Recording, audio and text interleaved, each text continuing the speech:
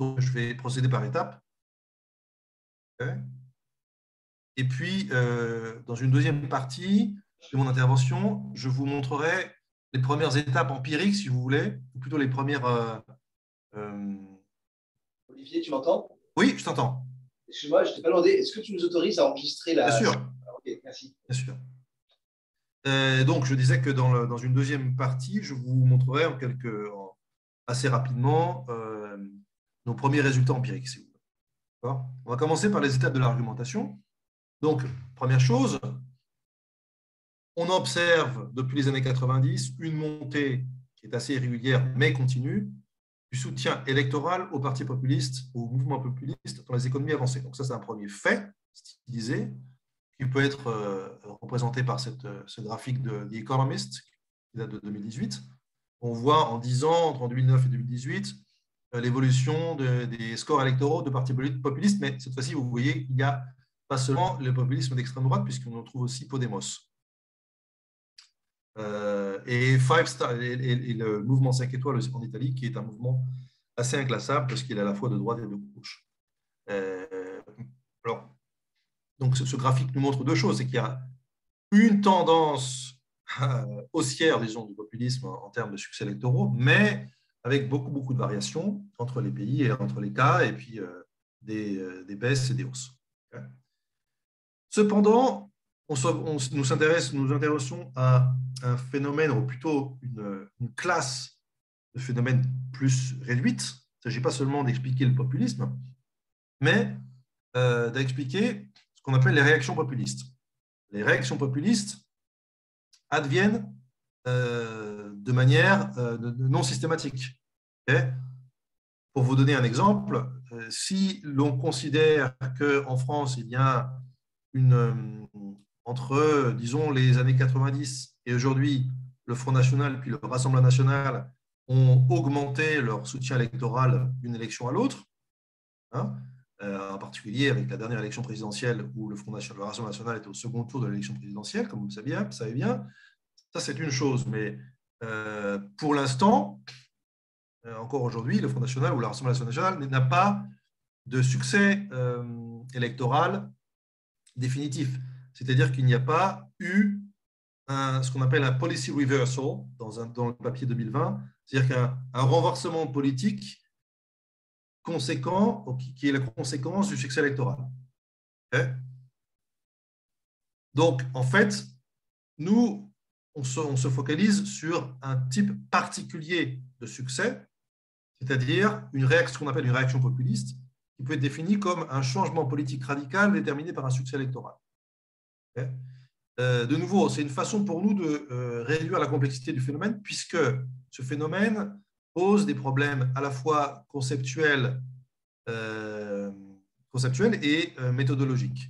En termes conceptuels, vous le savez peut-être déjà, euh, le populisme est un terme contesté en sciences sociales, puisque euh, certains l'utilisent de manière assez ample. Hein, c'est le cas de Mudde ou de Muller, par exemple, qui ont des définitions idéologiques du populisme, euh, qui présentent le populisme comme un phénomène lié à un mouvement ou un parti politique qui cherche à représenter le peuple contre une élite et, euh, et en particulier qui travaille sur les notions d'identité et d'insécurité économique. Alors, ça, c'est une vision très très large. Il y a des définitions plus précises.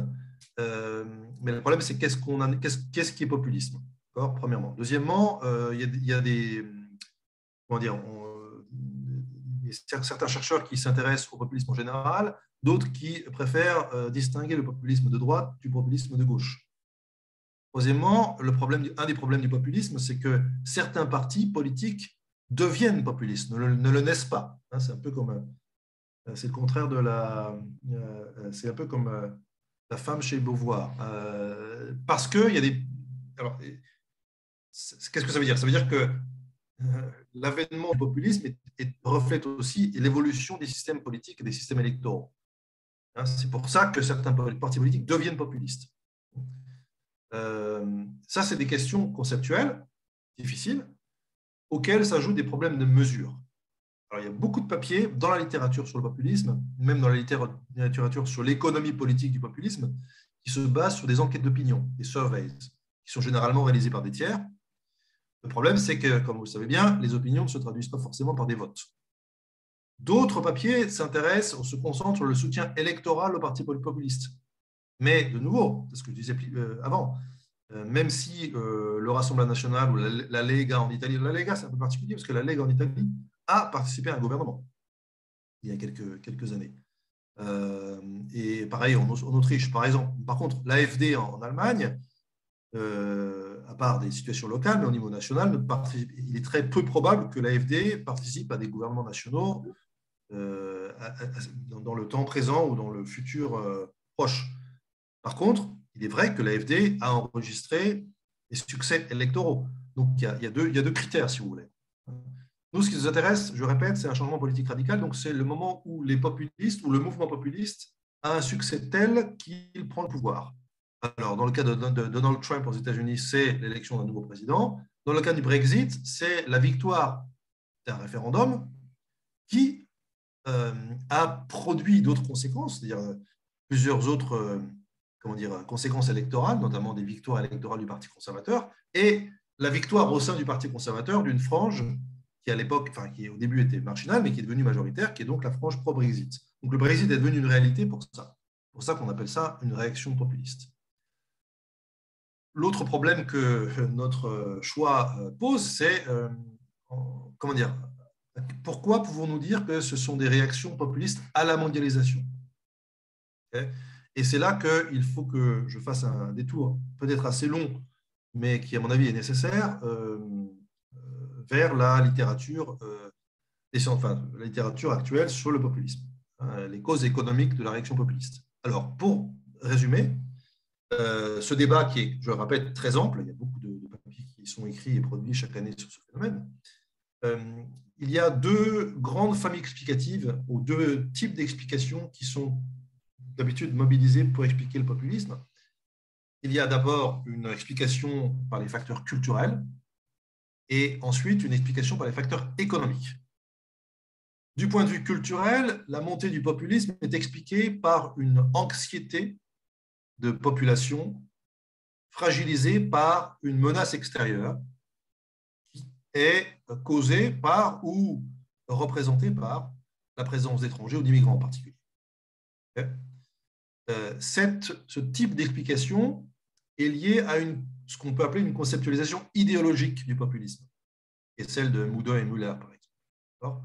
Le populisme est avant tout, dans, dans cette perspective, une idéologie, et qui correspond à l'identification par certains politologues d'un nouveau clivage politique nouveau parce que en rupture par rapport au précédent clivage politique dominant dans les années 70, 80, 90, qui était un clivage dominé par les classes sociales, l'appartenance aux classes sociales, en quelque sorte, et ça, ce sont les, travaux de Crisy et, et, Hall, et Hall en particulier, euh, et d'autres, en 2006-2008, euh, qui euh, cherchent à montrer comment les résultats électoraux étaient déterminés, plutôt la, l'alternance des résultats électoraux dans les, grandes démocraties occidentales dans les années 70 jusqu'aux années 90 par l'appartenance de classe socio-économique.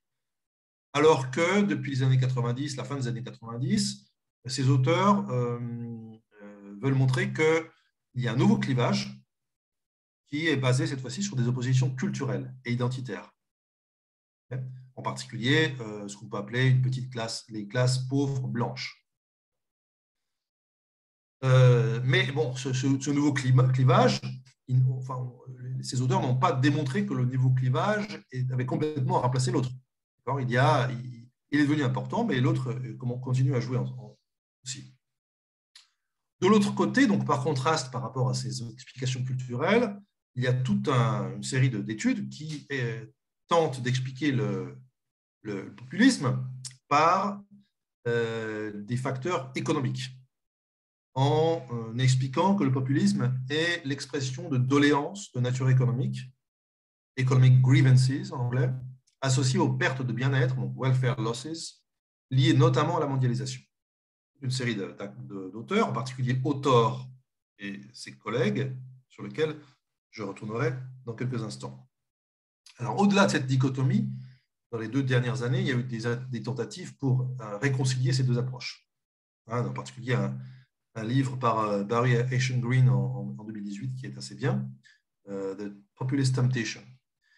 Mais il s'agit de découvrir comment ces facteurs sont liés. Donc, il y a plusieurs possibilités. Selon Bala, Rosa et d'autres, il y a, quand il y a un déclin économique soutenu, celui-ci mine la position sociale et l'identité sociale de certains groupes, des groupes que ces auteurs appellent, historiquement dominants, on peut discuter de la réalité de ces dominations évidemment, qui augmentent la probabilité que des individus au sein de ces groupes historiquement dominants demandent au reste de la société la conformité à des normes culturelles qui sont les leurs, la blanchitude si vous voulez, ou la, la chrétienté. Donc ça c'est un premier aspect. Un, deuxième, une deuxième façon de combiner les facteurs économiques et culturels, c'est euh, celle de Bacchini et Weymouth, qui, euh, qui traite les, ce qu'ils appellent les status threats, les menaces statutaires, donc sur le, statut social, basées sur l'identité, qui agissent comme des, qui traitent comme des variables intermédiaires, qui euh, qui relient les insécurités économiques de groupes fragilisés d'un côté vers le, et, le soutien à des forces politiques réactionnaires de l'autre. Et euh, il y a aussi toute une série d'études qui montrent le caractère complètement instrumental des menaces identitaires utilisées par les partis d'extrême droite, voire de droite. Je rajoute, euh, voir la, campagne actuelle en France, euh, où les menaces identitaires, on a entendu qu'il y a, deux jours, le, principal candidat d'un parti de droite utilisait ces menaces pour accroître leurs chances électorales. Mais dans notre analyse, nous privilégions les facteurs économiques sans dire que ces facteurs économiques sont exclusifs, simplement parce que les études empiriques montrent que ces facteurs ont été déterminants dans les deux cas euh, sur lesquels on se focalise, en particulier dans le dernier papier, c'est-à-dire le Brexit et Trump.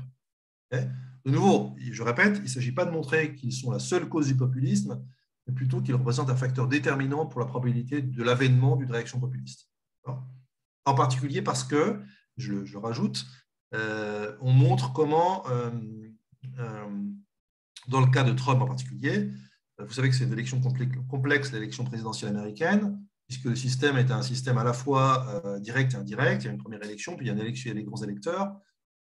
et dans le calcul des voix obtenues par les grands électeurs, les, il y a des, des, groupes électoraux, des constituencies qui sont critiques et qui correspondent précisément aux groupes fragilisés par la mondialisation et par les transformations de l'économie du système américain au cours des, dernières décennies. Bon, la, littérature, que dit-elle? Euh, Elle dit que, au niveau économique, hein, des facteurs économiques, elle dit que plusieurs décennies de déindustrialisation d'une part, d'automation d'autre part, donc le, changement technologique, outre une décennie de politique d'austérité en Europe, tout ceci a causé l'appauvrissement et ou l'accroissement de l'insécurité économique de groupes socio-économiques particuliers, et en particulier ce sont les travailleurs peu qualifiés dans les secteurs industriels, et ou de communautés particulières, c'est-à-dire les communautés, les territoires, où se concentrent ces emplois. Ici, je parle bien de facteurs économiques généraux. Or, nous nous sommes de nouveau intéressés par la mondialisation. C'est une des transformations particulières de l'économie. Sur cet aspect-là, le, le, lien spécifique entre mondialisation d'une part et, euh, réaction populisme ou populisme de, l'autre, il y a de nouveau toute une littérature, une niche dans la littérature euh, qu'on peut appeler le choc chinois. Le choc chinois parce que c'est le, titre d'un article fameux de Autor en 2013. Selon une estimation, comment, quel est ce choc chinois Entre 1991 et 2011, donc en 20 ans, 1,4 million d'emplois industriels ont été perdus aux États-Unis à cause du déficit commercial avec la Chine. Ça, c'est euh, une estimation de Acemoglu, mais qui a été euh, euh, confirmée par Autor en 2020 et au niveau mondial par Wood, qui parle cette fois-ci des effets sur le marché du travail des économies avancées en général du commerce avec les pays, avec les économies moins avancées, à, à bas revenus. C'est Wood et Wood parle dans au total de plusieurs dizaines, enfin d'une dizaine de millions d'emplois industriels perdus. Donc ce choc chinois est au cœur de cette niche, de cette littérature, en particulier des articles d'auteurs et, euh, et, euh, collègues en 2013. Le principal argument de ces auteurs, c'est que l'entrée de la Chine dans l'OMC a provoqué l'envolée du commerce avec les économies avancées, notamment avec les États-Unis, euh, a généré un recul marqué de la demande de travail, de la demande relative de travail non qualifié, conduisant à des pertes de bien-être pour les travailleurs non qualifiés. Il s'agit en fait d'effets qui avaient déjà été euh, observés et ou modélisés par des économistes dans la littérature sur l'économie politique des échanges commerciaux. Notamment, on peut citer Krugman en 2008, mais surtout un article de Finstra et Hanson en 2001. D'ailleurs, comme l'écrivait Roderick déjà en 1998, à mesure que la mondialisation progresse, les effets redistributifs prennent le pas sur les gains nets. Donc, c'est ça qui pose problème dans le cadre du populisme. Or, l'une des caractéristiques euh, de l'exposition des marchés, du marché du travail des économies avancées, notamment aux États-Unis et en Angleterre, au Royaume-Uni, aux échanges commerciaux avec des pays à bas revenus, c'est la concentration, à la fois au niveau de l'occupation et des territoires, des territoires, de ces effets négatifs. Euh, alors que les effets agrégés, si vous voulez, dans l'ensemble, sur le marché du travail, peuvent euh, être peu importants. Euh, dans certains cas, par exemple, c'est le, cas d'une recherche de Jacobian et McLaren sur le NAFTA, sur les effets du NAFTA en 2016. il, en fait, les effets se concentrent sur certaines catégories de travailleurs, donc des travailleurs peu qualifiés, et ou dans des zones très industrialisées où ces travailleurs sont nombreux.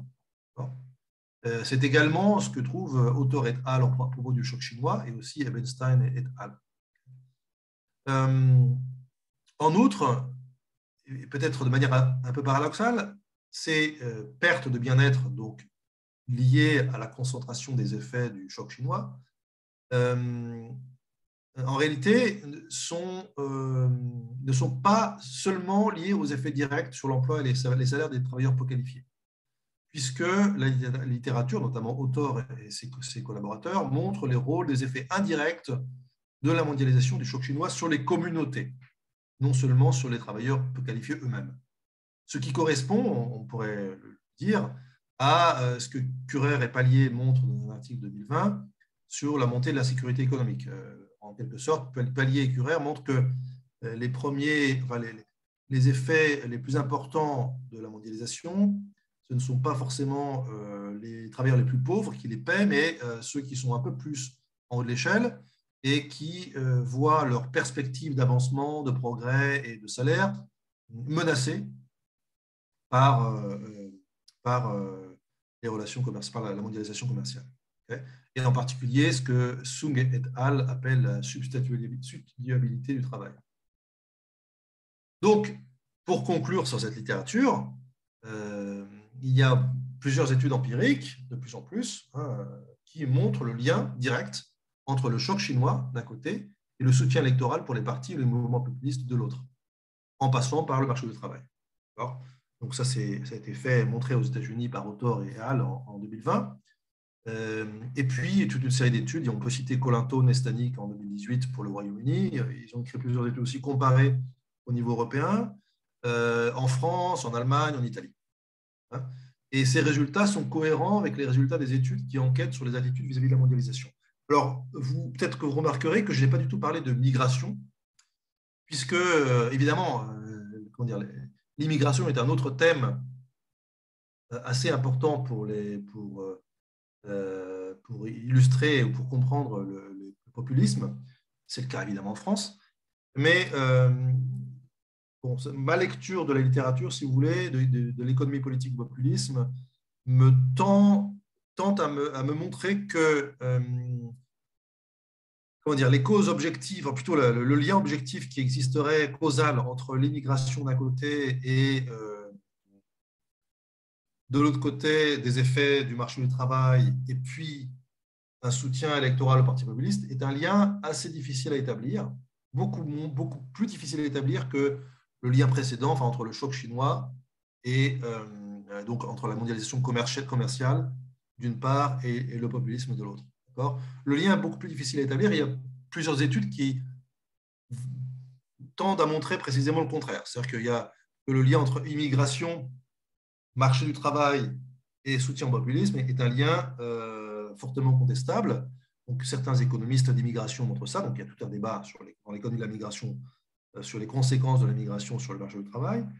Mais euh, il y a d'autres chercheurs, par exemple, il y a, je ne sais pas si vous avez entendu un petit bouquin qui a été publié par Hervé Lebras il y a quelques mois, je crois, sur l'immigration le populisme, qui essaie de montrer qu'au niveau territorial, il y a très peu finalement de liens de cause à effet entre montée de l'immigration ou importance de l'immigration d'une part et soutien électoral au parti populiste d'autre part l'un des problèmes de cette littérature empirique, c'est qu'il s'agit surtout d'une littérature qui, euh, comment dire, établit des corrélations territoriales, avec, euh, en essayant toujours d'avoir une, une, analyse toujours plus fine de ces corrélations, mais ça reste des corrélations territoriales. C'est-à-dire qu'ils euh, cherchent à montrer, tous ces chercheurs, comment le soutien électoral au parti populiste est plus important dans les territoires où il y a un certain nombre de phénomènes.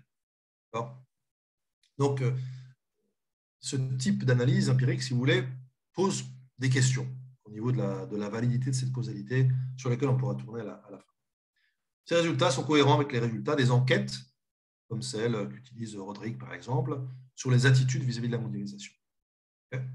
Ça, c'était le, le, deuxième point. Hein. Je vais aller plus vite pour les, autres. Le troisième point, donc la troisième étape de l'argument, c'est de considérer le rôle des stratégies des entreprises. Euh, la littérature existante, c'est notre argument, présente une vision simplifiée, voire réductrice de la mondialisation commerciale, en occultant le rôle joué par les acteurs de la mondialisation, notamment les entreprises multinationales. Euh, par contraste, dans la littérature qui est celle avec laquelle on est assez familier, nous, trois, les trois auteurs de ce papier, moi mes, deux co-auteurs, c'est la littérature management, managériale et euh, business studies, si vous voulez, il y a beaucoup d'intérêt pour les effets de la mondialisation, enfin plutôt de la réaction populiste sur les stratégies d'internalisation des, entreprises multinationales. Et nous, ce qu'on a fait dans le papier de 2020 en particulier, c'est de renverser le raisonnement en disant les entreprises ne sont pas seulement des victimes des réactions euh, populistes, sont, euh, elles participent à l'avènement de ces réactions. Comment? Par leur réponse stratégique aux opportunités et aux défis de la mondialisation. C'est ce qu'on qualifie de euh, de deux stratégies. Alors, j'écris dichotomie, mais en fait, on construit ça comme un continuum.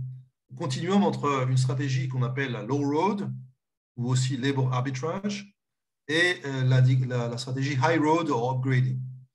La labor arbitrage, et là, je cite notre papier de 2020, c'est quand les euh, entreprises cherchent un avantage compétitif en exploitant les opportunités offertes par la mondialisation, c'est-à-dire en utilisant directement ou indirectement le, du travail peu qualifié moins cher dans les économies en voie de développement, à la place de leurs travailleurs dans les économies avancées.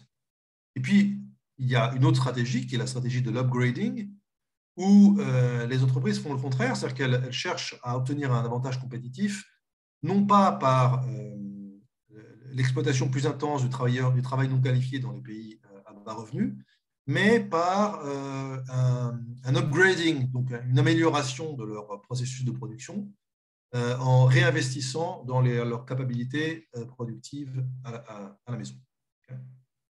Donc ça, ce qu'on dit dans l'article dans l'article de 2020, ce qu'on continue à dire, c'est que les entreprises jouent un rôle très important puisque le choix au niveau agrégé de ces stratégies aura un impact évidemment sur euh, le bien-être économique, donc les, doléances économiques de certaines catégories de travailleurs. Quatrième étape de l'argumentation, le rôle des institutions.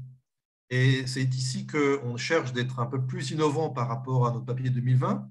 Donc, c'est plutôt notre projet de recherche actuel, dans l'identification des effets ou des mécanismes plus précis par lesquels les institutions influentes, euh, euh, influencent le, cette, cette, ce, canal causal entre les doléances économiques d'un côté et le populisme de l'autre les institutions jouent, quatre rôles différents.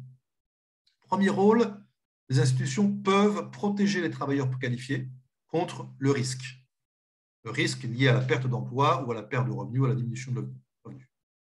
Et euh, de manière parallèle, elles peuvent protéger les communautés contre le risque de perte concentrée de bien-être matériel. Ce qu'on appelle un effet de protection contre les risques. Et puis, il y a un deuxième effet qu'il faut distinguer du premier, qui est un effet de compensation que les institutions peuvent compenser les travailleurs ou les communautés quand le risque se réalise. Il ne s'agit pas seulement d'empêcher la réalisation du risque, il s'agit d'une fois que ce risque s'est réalisé, et donc c'est traduit en perte, de compenser ces pertes. Transfert de revenus. Troisième effet, et c'est les troisième et quatrième dans lesquels on innove un peu, puisque la, littérature se concentre sur ces deux premiers effets. Si, vous voulez, pour caricaturer, pour aller vite, on pourrait appeler ça euh, euh, les effets polaniens des institutions, hein, pour reprendre Polanyi. Troisième effet, euh, c'est l'effet d'induction stratégique, c'est-à-dire que les institutions peuvent induire les entreprises à choisir la voie des stratégies d'upgrading plutôt que les. C'est ce qu'on appelle high road inducing effect des institutions. Et enfin, les institutions peuvent euh, aussi euh, réduire la polarisation territoriale des pertes liées à la mondialisation. Ça, c'est un, rôle important, selon moi, euh, qui est complètement ignoré par la littérature. Cinquième et dernière étape, on met ensemble ces, différents rôles et on considère ces rôles dans différents domaines aux sphères institutionnelles, qui est vraiment, ça c'est vraiment le, typique de l'analyse en termes de variété de capitalisme.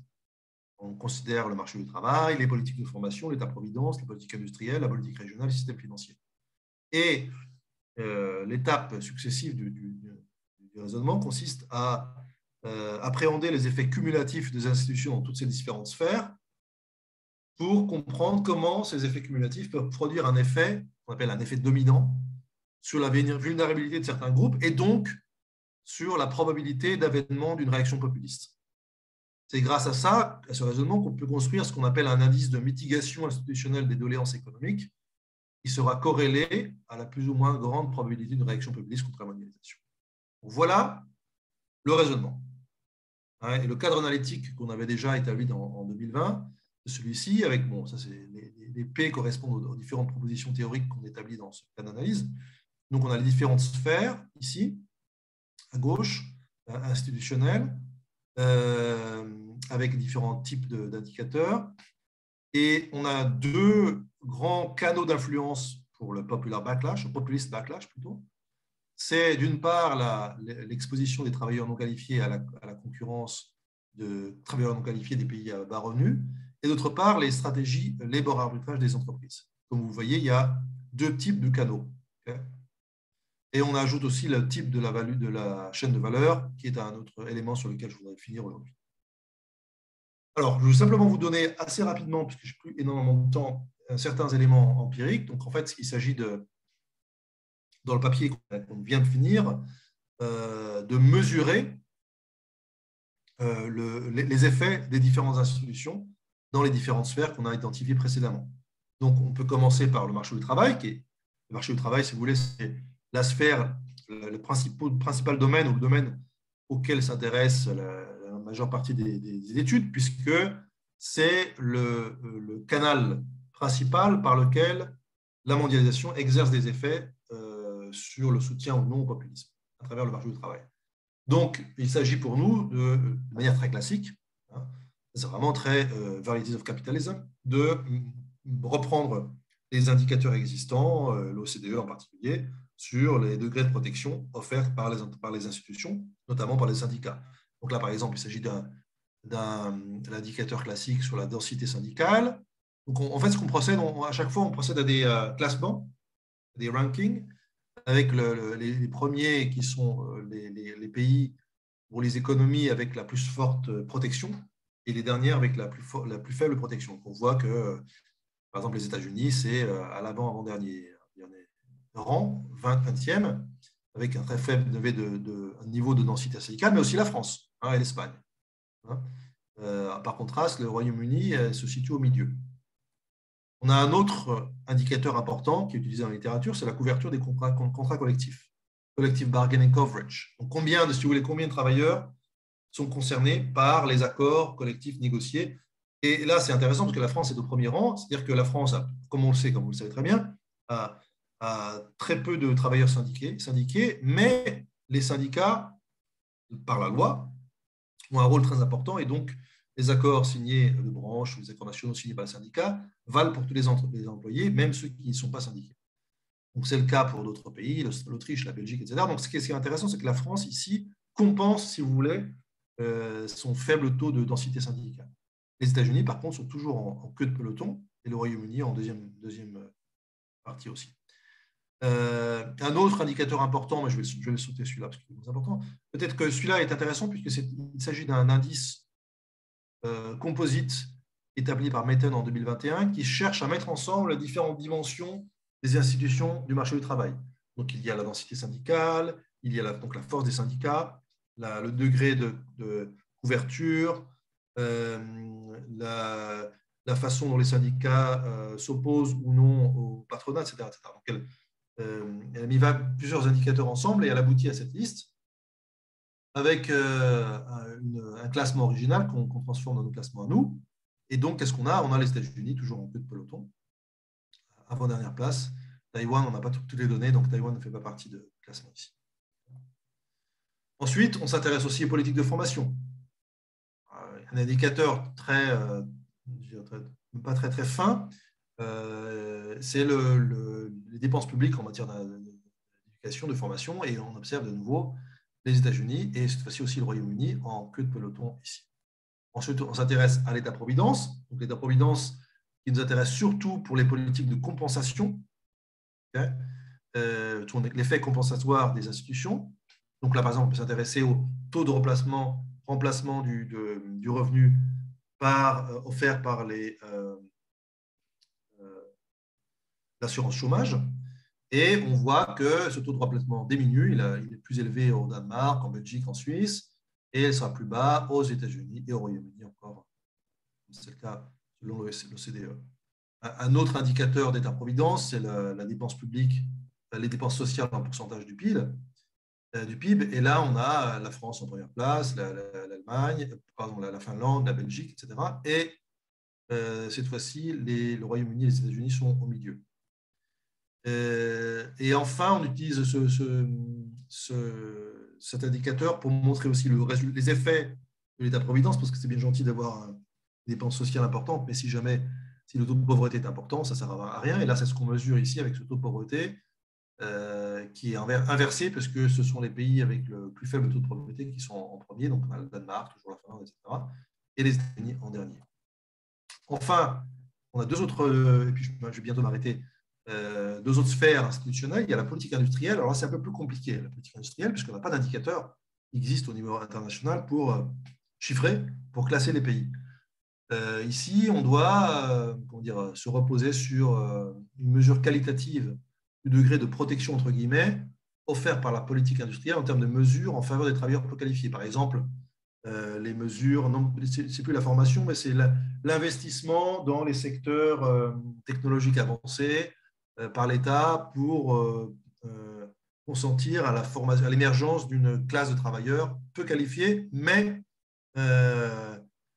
qui sont importants pour ces secteurs-là. Donc ça, c'est il y a ces, politiques-là qui sont mises en place en Corée, à Taïwan, etc. Hein. Et d'ailleurs, on voit bien que la politique industrielle, vous voyez qu'ici, on la on la classe comme élevée, le degré d'activité de l'État élevé dans les pays comme euh, la Corée du Sud, le Japon, ou plutôt la Corée du Sud et Taïwan, qui étaient, euh, plutôt euh, classés en tête, en queue de classement dans les autres indicateurs. Et par contre, on a le Royaume-Uni et les États-Unis qui sont en queue de classement. Et enfin, la politique régionale, c'est encore plus dur de trouver des indicateurs, des, des mesures comparatives. par exemple, sur les, transferts fiscaux entre interrégionaux, j'ai trouvé que euh, des données seulement sur une dizaine de pays. Et donc, euh, je ne suis, pas, en mesure de vous dire si euh, le Royaume-Uni et les États-Unis sont plus bas ou plus haut que la France ou la Corée ou la Nouvelle-Zélande. Par contre, pour les premiers, il est clair qu'il y a un, taux important de transferts fiscaux pour ces régions-là. Il serait intéressant de regarder, par exemple, l'Italie d'Autriche, mais ça, il faudrait un, papier un peu plus fin qui regarde quel est l'impact de ces transferts fiscaux élevés en Italie et en Autriche sur les scores régionaux de l'extrême droite et du populisme en général. C'est ce qu'on ne fait pas. Donc voilà, sur la base de ces différentes sphères institutionnelles, on élabore un, indicateur composite très, euh, comment dire, euh, très, euh, très basique, puisque les poids qu'on a attribués aux uns et aux autres, je crois que c'est de 1 pour chaque sphère institutionnelle, donc évidemment c'est vraiment très basique et ce qui nous permet d'avoir une, vision d'ensemble, si vous voulez, du rôle des institutions dans différentes sphères et à différents niveaux. Et on obtient cette table dans laquelle le Royaume-Uni et les États-Unis sont vraiment très très loin derrière les pays européens en particulier. Ce qui nous permet de conclure quoi? Conclure que les deux pays avec la configuration institutionnelle la moins protectrice, le Royaume-Uni et les États-Unis, sont les seuls pays qui ont connu une véritable réaction populiste anti-mondialisation au cours des dernières années. Donc, en d'autres termes, euh, parmi tous les facteurs que, j'ai euh, euh, listés au début, ce qui rend la mondialisation, les réactions populistes à la mondialisation un phénomène très complexe, nous sommes conduits à conclure que l'interaction entre les facteurs économiques d'une part, le comportement de la stratégie des entreprises d'autre part et la configuration institutionnelle euh, jouent un, rôle central dans la probabilité de l'avènement d'une réaction populiste à la, mondialisation. Alors, peut-être que vous avez déjà identifié une série de limites. Deux dernières choses, je vais parler des, limites en, une minute et puis euh, ce qu'on va faire ensuite en une minute. Les limites, il y en a beaucoup. Euh, une des premières limites euh, est liée euh, au problème de définition de la variable dépendante du populisme. Qu'est-ce qu'on veut? Alors, j'ai bien dit au départ qu'on cherchait à restreindre le phénomène le plus possible en parlant de réaction populiste à la mondialisation. Mais est-ce que c'est une catégorie légitime? Est-ce qu'on ne peut pas comment dire, utiliser notre cas d'analyse pour penser de manière plus générale euh, à l'augmentation du poids électoral des partis non populistes. Euh, deuxième problème lié, enfin deuxième limite liée à ce problème-là, euh, est-ce que notre choix est tributaire du système électoral? En d'autres termes, nous avons décidé de nous concentrer sur les réactions populistes, donc comme on a défini un, changement politique radical, mais ces changements politiques radicaux, a priori, on pourrait dire qu'ils résultent simplement du système politique électoral. Euh, mais oui, sauf que non, puisque on pourrait se dire que théoriquement, les systèmes électoraux qui euh, favoriseraient le plus la conquête du pouvoir par les partis populistes sont des systèmes électoraux proportionnels. Or, les deux phénomènes de réaction qu'on a analysés sont des phénomènes qui correspondent à des systèmes majoritaires, le système de, Westminster. Donc, il faut, il faut qu'on creuse cette question-là, puisque de toute façon, en plus, on a tous les trois une formation politologique de base, donc on devrait, c'est notre objectif, euh, dans l'année qui vient ou les deux années qui viennent, intégrer les systèmes électoraux dans notre analyse, mais pour l'instant, on ne fait pas. Un autre problème énorme que euh, vous aurez certainement euh, identifié, c'est que j'ai parlé beaucoup dans nos entreprises et des stratégies des entreprises, mais à aucun moment, pour l'instant, nous ne mesurons euh, et nous n'appréhendons directement le comportement stratégique des entreprises. Ce qui est un problème en fait classique dans la littérature sur les variétés de capitalisme, qui le plus souvent met en, si vous voulez, en lien, euh, d'une part, des variables institutionnelles et d'autre part, des variables de résultats. Et, euh, nous, ce n'est pas ce qu'on veut faire, puisqu'on insiste sur le fait que les entreprises jouent un rôle. Mais comment opérationnaliser ce comportement? Et comment le lier avec euh, ce qu'on a dit tout à l'heure? Donc ça, c'est le défi qu'on devra, auquel on devra répondre dans la prochaine année. En plus, deux dernières choses. La dernière itération, si vous voulez, de ce projet de recherche, donc celle qui, sur laquelle on est en train de travailler euh, ces, semaines-ci, ces mois-ci, c'est d'une part d'inclure les effets des accords commerciaux préférentiels sur les stratégies des entreprises et en particulier des multinationales. Pourquoi? Parce que ces accords structurent de manière décisive l'espace des possibilités stratégiques dans lequel se meuvent les, EMN, e les multinationales. Premier élément. Deuxième élément qu'on voudrait incorporer, euh, c'est euh, l'impact sur les stratégies d'internationalisation des EMN, des EMN, donc des multinationales, de leur position dans les chaînes globales de valeur parce que, de nouveau, les différentes positions, et il y, a quelques papiers déjà qui sont sortis hein, sur, qui mettent en lien, si vous voulez, les chaînes de valeur globales, euh, leur évolution d'un côté et les populismes de l'autre. Je pense à un papier par Géréfi et d'autres euh, de l'année dernière. Et donc, on, veut euh, s'appuyer sur cette littérature pour chercher à intégrer cet élément dans notre, dans notre raisonnement, puisque les stratégies des entreprises, en particulier les entreprises multinationales, sont également tributaires non seulement du cadre institutionnel, mais euh, du type d'insertion dans les chaînes de valeur euh, qui les caractérisent. Voilà, donc ça, c'est les prochaines étapes pour les prochains mois. Mais je vais m'arrêter ici et vous donner la parole. Donc, euh, je peux m'arrêter ici pour la présentation. Je vais arrêter la division, voilà, partage de l'écran. Merci. Bah, merci beaucoup, Olivier, pour cette présentation. C'était super intéressant. Euh, on va ouvrir les questions euh, d'abord dans la salle euh, ici et après sur, le chat. Donc, déjà, alors moi j'ai une petite série de questions. Mais je ne sais pas s'il y en a d'autres. Donc, moi je commence tout de suite. Bon, déjà, c'est super intéressant, mais en effet, moi je suis un peu frustré en t'écoutant parce que j'ai rien vu sur les multinationales ici et sur euh, leur, leur rôle stratégique. Donc, c'est en, effet, on, a juste l'impression d'avoir euh, euh, ben voilà, la présentation des, conséquences des institutions euh, dans les pays sur, sur, sur, sur le Brexit, et en fait, ben voilà, les États-Unis et, euh, et le tu peux les classer euh, dans les derniers là, au niveau de toutes ces institutions que tu as, présentées. Mais en fait, tu pourrais le, le coupler à plein d'autres variables d'outcome que euh, le Brexit ou, euh, euh, l'élection de, Trump. Donc là, je pense qu'il manque euh, encore l'aspect, euh, le lien avec les, euh, les multinationales. Et euh, sur ce point, j'ai quelques remarques sur, les effets des institutions, euh, quelles pourraient être leurs conséquences alors, en, en lien avec les, les, euh, les multinationales. Il y a le premier point sur les chaînes globales de valeur. Ça, je pense, c'est euh, sans doute euh, prometteur. Et là, tu as, vraiment plein de travaux qui, euh, qui te permettent d'avoir des indicateurs par pays. Euh, à un travail qui avait été fait aussi par euh, Cédric Durand euh, et euh, des doctorants du CPN, qui a été publié dans le Cambridge Journal of Economics, où il donne un indicateur de la capture de valeur dans les chaînes globales de valeur au niveau des pays. Ça, ça peut être très utile, par exemple, pour construire un, un indicateur. Euh, je pense aussi qu'il faudrait regarder sur les conséquences effectives du comportement des multinationales sur, euh, sur l'emploi. Et là, alors, je ne sais pas dans quelle mesure c'est possible de faire ça sur tous les pays. Euh, mais je te donne juste un exemple en France. Il, y a, pas mal de travaux qui se font sur, sur les groupes et sur l'effet notamment des licenciements par les groupes contrôlés par des actionnaires étrangers, tu vois, par des multinationales. La, la conséquence, c'est que euh, dès qu'il y, qu'il y a un choc, dès qu'il y a une crise, ce sont les groupes étrangers qui diminuent en priorité l'emploi sur les, sur, euh, dans les pays, alors que les entreprises nationales ont tendance à être plus protectrices au niveau de l'emploi. Donc ça, ça, peut vraiment faire le lien. Je ne sais pas dans quelle mesure il existe des travaux euh, plus, euh, plus larges là-dessus pour pouvoir le faire sur une multitude de pays, mais je pense que c'est un, un résultat qu'on euh, qu'on lit intuitivement aussi dans, la littérature, comme quoi, bah, voilà, quand les entreprises, euh, enfin, si tu pourrais avoir un indicateur là-dessus, c'est euh, le, siège social, finalement.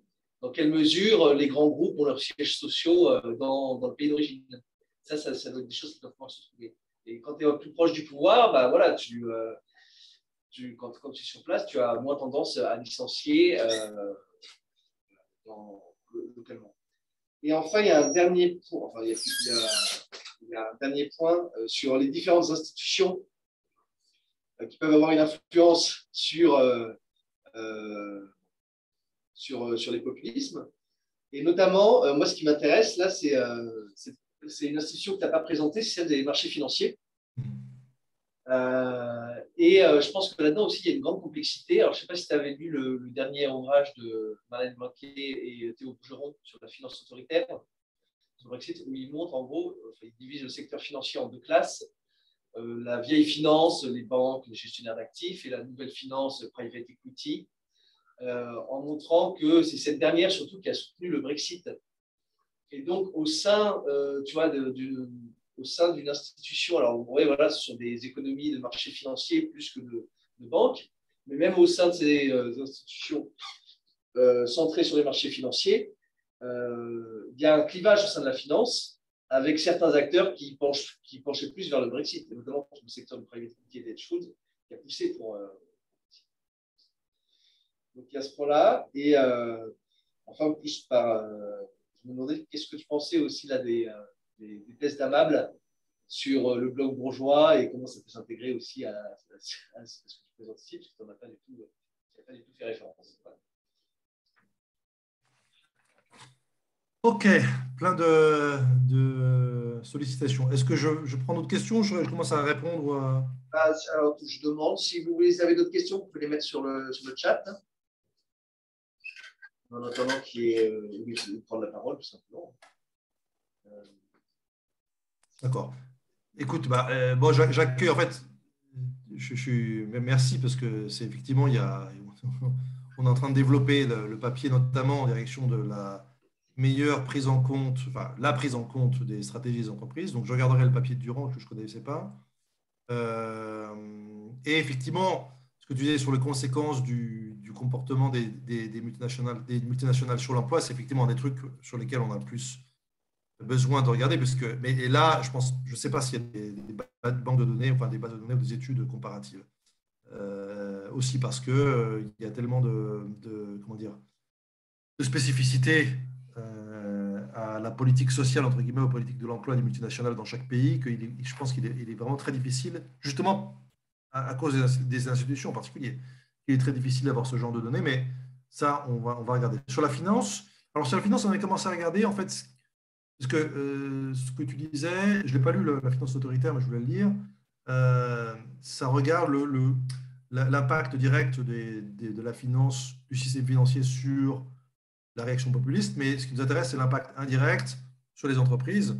Donc, notamment, l'un des indicateurs qu'on pourrait utiliser, c'est le capital patient, patient capital, euh, puisqu'il est présenté dans la littérature euh, VOC notamment comme un, élément institutionnel comparable aux, institutions comme euh, la gouvernance stakeholder et tout ça, hein, sur les horizons à long terme. Donc ça, euh, ça c'est pas très compliqué à trouver.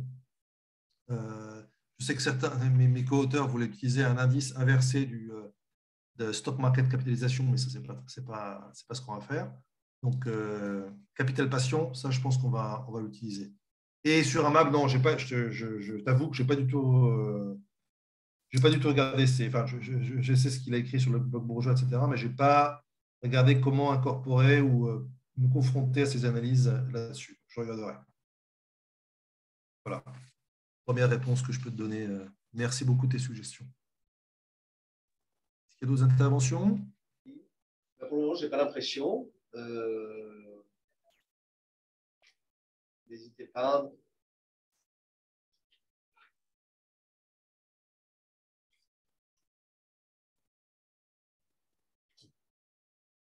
Alors, sinon, euh, je sais, j'étais pas présent à la, toute la discussion que vous avez eue sur le séminaire doctoral, mais il me semblait que tu avais un regard critique aussi un petit peu sur tous les, sur les indicateurs que tu utilises ici, euh, par exemple, comme Union Density, tout ça. Donc, euh, je voulais savoir.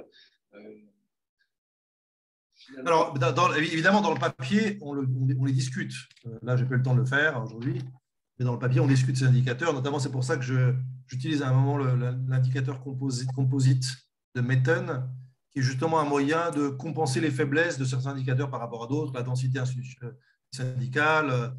que c'est, voilà, de nouveau, le, problème avec ces indicateurs, c'est d'une part, ce sont les indicateurs les plus utilisés dans la littérature, les plus faciles à trouver, mais les plus, euh, comment dire, euh, les, moins fiables en quelque sorte pour euh, ce qu'on veut montrer. Donc, euh, ça, c'est un des problèmes qu'on a, évidemment. Notamment parce que tu as remarqué qu'on cherche à incorporer, et ça, c'est plutôt les apports de Dog, qui est le spécialiste Asie de notre groupe. On a cherché à incorporer les pays comme la Taïwan, la, Corée du Sud ou le Japon, notamment Taïwan et la Corée du Sud, qui ont des, systèmes institutionnels très différents et qu'il est difficile de comparer avec les autres. Euh, donc, c'est pour ça qu'on repose sur les indicateurs traditionnels de vie aussi. Mais effectivement, je, suis personnellement très, critique euh, là-dessus. Et, c'est pour ça qu'on essaye de... Euh, pas, tu veux, notre, notre point de vue, c'est plus on est donc, plus on est de fous, plus on, plus on rit, plus on a d'indicateurs euh, différents institutionnels, plus on commence à, à, comprendre le sens de la configuration institutionnelle. Donc c'est pas ce n'est pas un mode très rigoureux de tester l'importance de, certains indicateurs, certaines institutions, mais c'est une façon pour nous d'appréhender, si tu veux, la, euh, la, nature dominante ou la logique dominante du système institutionnel. Voilà pour te répondre. Oui, Samuel Oui, bonjour. Euh, merci beaucoup, Olivier, pour, pour cette présentation. Alors, j'aurais euh, évidemment beaucoup de choses à dire, mais j'étais ravi de pouvoir de pouvoir vous écouter. Et alors, comme Tristan, je, reste un peu sur ma fin sur le rôle des, des multinationales, parce que voilà, c'est un projet, projet en cours. Et ce serait très intéressant de voir quels vont être les, résultats de, vos futurs travaux. Alors moi, j'aurais une question plus d'un point de vue, on va dire, d'intérêt de, la recherche. Ce que l'histoire que vous racontez ressemble beaucoup à ce que les sociologues comme Pogam, De Sigli, etc., peuvent parler en termes de crise du lien social? Hmm. On a un lien social qui se défait à travers le travail, la précarisation du travail, et qui entraîne de nouvelles recompositions, et notamment un sentiment de citoyenneté qui va pouvoir peut-être s'affirmer justement en réaction à euh, une précarisation euh, croissante. Et que du coup, la montée, on va dire, du nationalisme, ou en tout cas la reprise euh, de conscience politique, que la politique peut faire bousculer les choses en réaction à la perte d'emploi, peut être expliquée par cette prise d'opposition, enfin ce point de vue plutôt sociologique, et notamment dans un cadre de globalisation où les acteurs n'ont pas une vue complète sur toute la division du travail et donc sont incapables, on va dire, de mesurer euh, de manière plus ou moins rigoureuse comment cette division du travail peuvent contribuer à leur bonheur ou au contraire comment leur choix qu'ils peuvent effectuer d'un point de vue politique peut ou non contribuer à leur bien-être, étant donné la complexité de, euh, la complexité de, voilà, de, nos sociétés. Donc, je voulais juste, voilà, s'il y avait des, points qui peuvent être faits avec cette littérature en sociologie, qui, je pense, progresse beaucoup, notamment sur la question du populisme. Peut-être que vous pouvez en, parler un peu. Hmm. Alors, je la connais moins, cette littérature, je te dis tout de suite. Euh, simplement, je peux te dire que, comme j'avais dit au début, euh, même dans la littérature économique, sur les causes du populisme, les causes à long terme, où l'on parle par exemple de la désindustrialisation ou de, des changements technologiques, il y a une attention euh, aux transformations de long terme du marché du travail, de l'emploi. Simplement, euh, alors il faut, que, je regarde cette littérature, ce qu'elle dit sur le populisme, parce que, si tu veux, les, changements à long terme les évolutions à long terme, ne nous permettent pas de comprendre ou nous permettent de me comprendre une tangente des événements électoraux, et notamment ce qu'on appelle les réactions qui sont des, événements ponctuels. Des événements ponctuels dans lesquels euh, un rôle clé est joué par certains groupes de, population qui, ont, qui sont affectés notamment par la mondialisation. Donc, ce n'est pas seulement une question euh, de long terme. Il y a, il y a plusieurs papiers en économie qui cherchent à euh, montrer l'articulation entre l'affaiblissement à long terme du marché du travail, des travailleurs non qualifiés et du lien social, on pourrait dire, en prenant ce que tu disais sur les sociologues, sur les travaux des sociologues, et l'articulation entre ça d'un côté et de l'autre côté, euh, une, euh, comment dire, l'événement qu'a été l'entrée de la Chine dans l'OMC et ce qu'on et, au cours des 15 euh, dernières années, 20 dernières années, l'augmentation euh, continue des échanges commerciaux avec la Chine, avec les, économies euh, à, bas revenus.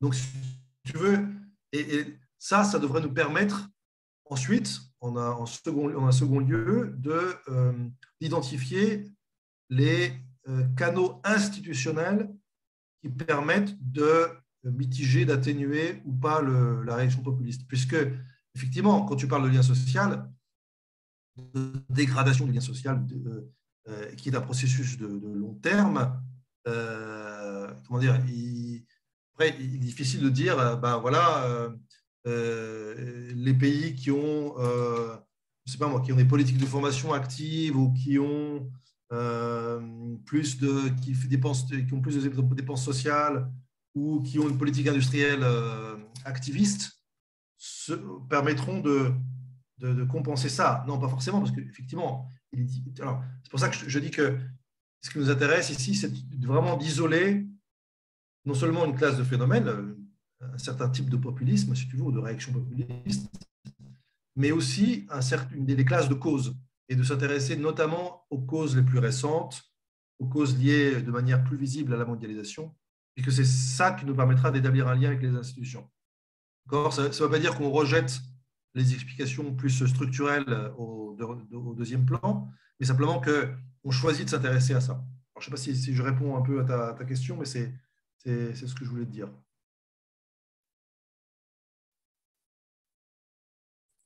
Merci beaucoup. Autre chose, Tristan? Merci. Alors, euh, c'est plus de l'ordre de la pension. Est-ce que tu peux revenir sur, euh, sur euh, les quatre rôles des, effets des institutions? J'ai dépassé un peu vite à la fin. Oui, euh, donc les, premiers deux effets, c'est ce que je disais, j'appelle l'effet polladien, donc de compensation, de contre-mouvement, hein, donc les effets de, euh, d'évitement du risque euh, d'une part et de compensation des risques, de, des pertes d'autre part. Donc ça, c'est vraiment les effets, l'état-providence, ce qu'on disait sur le marché du travail, etc. Mais il y a un autre effet, le troisième effet, c'est l'effet d'induire les entreprises à opter pour certaines stratégies et en, quelque sorte, enfin, euh, les politiques de marché ou les institutions du marché du travail ont aussi un rôle, exercent aussi des effets sur les stratégies des entreprises. Il ne s'agit pas, seulement de, euh, si vous voulez, de, protéger euh, les travailleurs eux-mêmes. Il s'agit d'induire les entreprises à, choisir cette stratégie, d'une part. Et puis après, il y a d'autres types d'institutions, comme la politique industrielle, par exemple, euh, qui sont des institutions ou des politiques qui ont un impact direct, cette fois-ci, sur les stratégies des entreprises et indirect sur le degré de protection des travailleurs peu qualifiés euh, par rapport aux pressions de la mondialisation. Ça, c'est le troisième rôle. Et puis, il y a le quatrième rôle qui est, que je considère important et qui n'est pas du tout traité par la littérature, malgré le fait que, comme je l'ai dit au début, euh, la plupart des, travaux économiques sur le, le choc chinois en particulier, euh, montre de manière claire la euh, concentration territoriale des effets du choc chinois. Et euh, il y a aussi, pour expliquer le Brexit notamment, et en, général les réactions populistes, il y a une série d'études qui, de géographes notamment, qui s'intéressent aux left behind places, donc les, endroits laissés à la dérive ou laissés, laissés derrière, donc, en fait, ce sont les zones désindustrialisées, exposées au choc de la concurrence chinoise ou des pays à, bas revenus. Et, là, à mon avis, euh, les institutions ont un autre rôle à jouer, qui est euh, le rôle de euh, réduire la polarisation territoriale, donc ce qu'on pourrait appeler, si vous voulez, l'aménagement du territoire en France, et qui est un rôle, à mon avis, enfin, complètement ignoré par la littérature, ça je ne l'ai trouvé nulle part, mais qui, selon moi, est important aussi donc, euh, évidemment, le problème, euh, il s'agit de mesurer de nouveau ce, rôle-là ou cet effet-là. Et là, on a vraiment très peu d'instruments à disposition. Je parlais des transferts fiscaux, mais même les transferts fiscaux, même, il, est, même difficile d'avoir en Europe, d'obtenir en Europe. Euh, alors, je ne sais pas si tu connais des études sur les fonds structurels qui montrent justement l'importance de ces transferts fiscaux au niveau, en termes de réduction des inégalités territoriales, mais après, il faudrait montrer ça, comment c'est lié à la mondialisation, et puis comparer surtout avec des pays comme les États-Unis ou le Canada, euh, pour lesquels les données sont différentes. Et à mon avis, c'est un effet important. Et sinon, là, j'y pense, là, pendant que je, suis parlé, sur les, euh, sur les différences, euh, pour saisir les effets des stratégies d'entreprise, alors sans doute les multinationales, parce que c'est les multinationales qui tirent les tendances macroéconomiques des pays. Tu peux aussi te servir des indicateurs comme les, euh, euh, déficits de la balance commerciale aussi. Euh, typiquement, tu vois, voilà, c'est un pays déficitaire alors que l'Allemagne est exportatrice. notamment parce que la France a choisi une stratégie de réduction des coûts salariaux plutôt, alors que l'Allemagne, elle, est plus sur la production de produits à haute valeur ajoutée que l'exportation française elle se fait sur euh, des, bah, matières premières, quoi, et que l'exportation allemande elle se fait sur euh, des, des productions transformées. Et donc, ça peut être aussi une explication, mais je pense que ça, ça doit se capturer aussi par des indicateurs de chaîne euh, globale de valeur. Oui, ouais, ouais, je crois aussi.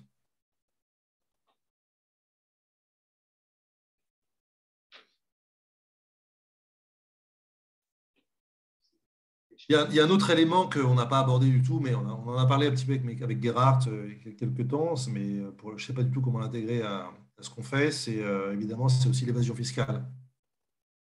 Et, comment, et là aussi, je pense qu'il doit y avoir un lien qu'on pourrait justement associer aux stratégies d'entreprise. D'une part, la stratégie, le côté marché du travail, donc lié aux chaînes de valeur, et d'autre part, stratégies liées à la fiscalité,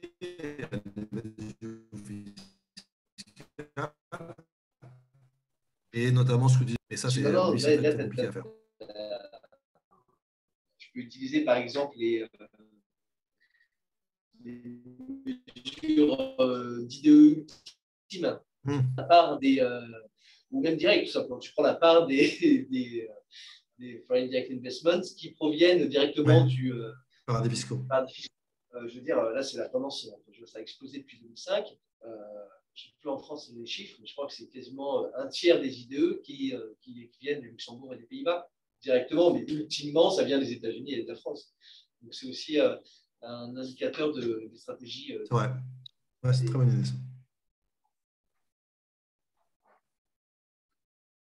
Et sinon, je ne sais pas si tu peux puiser aussi là dans les travaux de, alors c'est pas Piketty lui-même, mais c'est son, son, équipe, qui ont des mesures de délocalisation des profits des entreprises qui hmm. la part des, euh, des profits euh, qui n'est pas payé euh, parce qu'ils sont localisés au Luxembourg.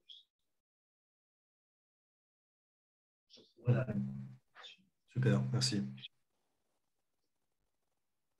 Est-ce qu'il y a d'autres remarques, questions?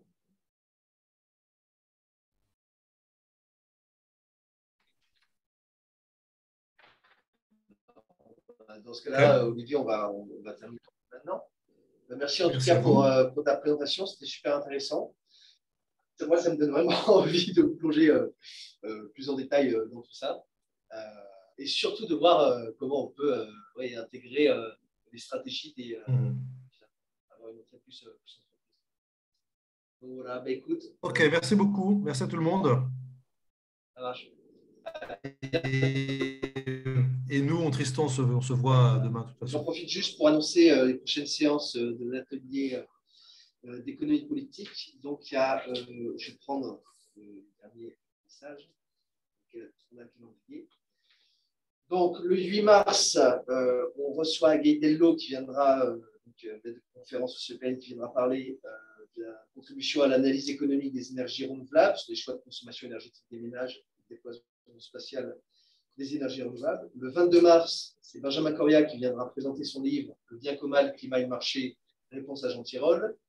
Et le 29 mars, Christophe Damanja sur euh, la troisième édition de son livre, Le communisme primitif, puisqu'il était l'origine de l'oppression des femmes. Voilà. Et ben, Salut. à bientôt tout le monde. Et, euh, Bonne journée. Merci. Bonne journée.